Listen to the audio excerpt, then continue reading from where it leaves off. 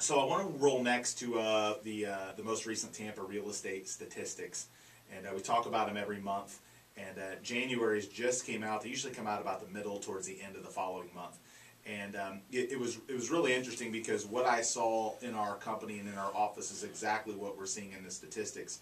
In that uh, January, the January that we had, January 2017, is by far the best January that um, that Tampa Bay has seen in, in a decade.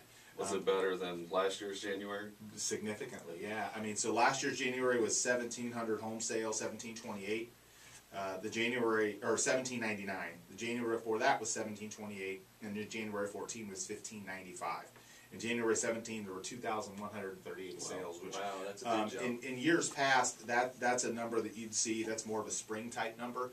Um, so I had been talking about how I felt the spring market showed up early, and these statistics definitely support that. Our, um, so year over year, if you look at the stats, it's eighteen hundred roughly to twenty-one hundred, you're at about a, you know, about a twenty, almost a twenty percent increase in the number of home sales. Now, our company was up, um, we almost, we did almost double the number of sales this January than we did last January. So we were obviously outpacing the market, I think we're seeing the same thing in February and March.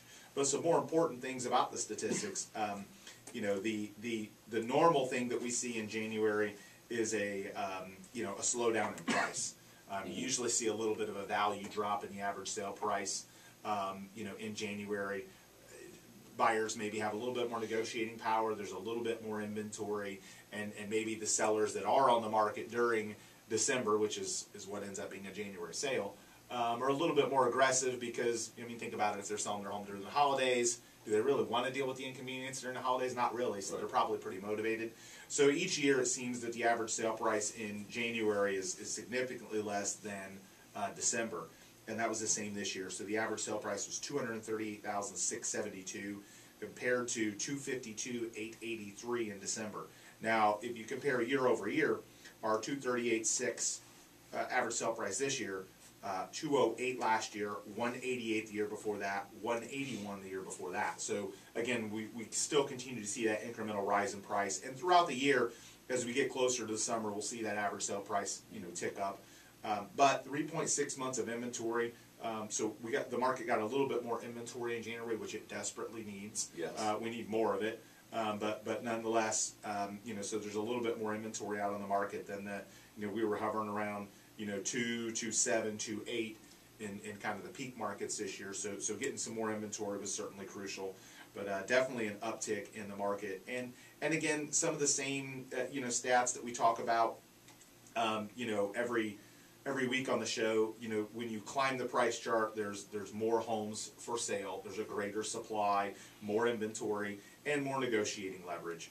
Um, what I found that was interesting, and, I, and I'm sure that there's a, an outlier here somewhere, um, but uh, one of the really intriguing stats for me was homes priced between six to six ninety nine last month had an average list to sell price ratio of 101 percent Oh wow. which Wow. means that they were selling above asking price. Now that's that's really, really, really uncommon. So and it's an average on uh, only 26 sales.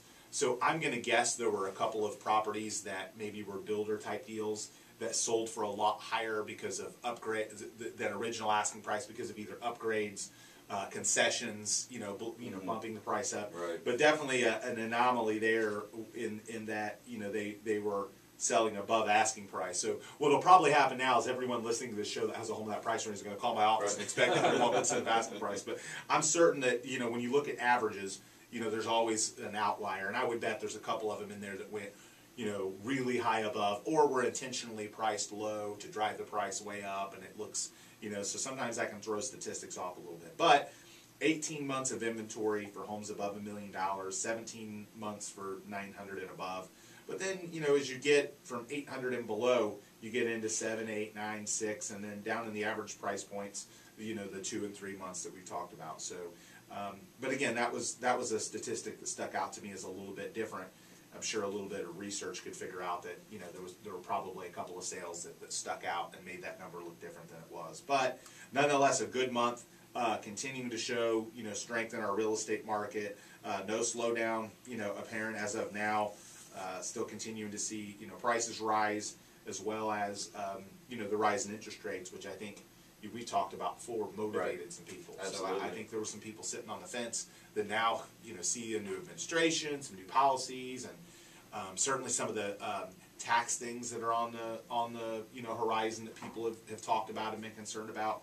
Um, so we're going to talk next week on the show. We'll, we'll talk about the Sarasota statistics. Uh, we'll compare them to Tampa just to do a little comparison and contrast. Uh, normally, Sarasota's peak season is about now, whereas you know Tampa usually is, is a little bit slower. So it looks like uh, Tampa is, is kind of bucking that trend this year. So it'll be interesting to see if Sarasota is is as well, if, if they're as, as busy as, as Tampa is. So uh, we'll put the we'll put all the uh, statistics up on all our social channels. So make sure to follow us facebook.com slash the Duncan Duo Show uh, or on Twitter at the Duncan Duo. Uh, we'll post this PDF up. So if you're curious or if you're a statistical person and you really like number crunching, uh, you can go through the sheet and look at all the different uh, data points and price points and, and how the market's doing and all those.